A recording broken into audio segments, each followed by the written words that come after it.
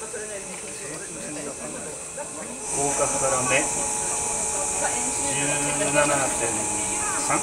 17.352あとなんだっけ？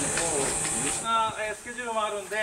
えーもうそろそろほ、えーとえっと、今回見つかったクジラはイチョウハクジラという種で、えっと、比較的深い海が好きなクジラで静岡県で漂着したのが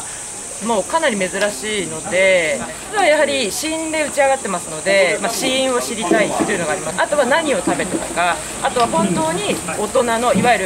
えー生殖行動が可能なオス個体なのかあとはあの海の、えー汚染ですね海洋汚染がどれぐらいひどいのかっていうのを彼らの体の一部を解析することで分かりますので解析を目的としていろんなサンプリングをします。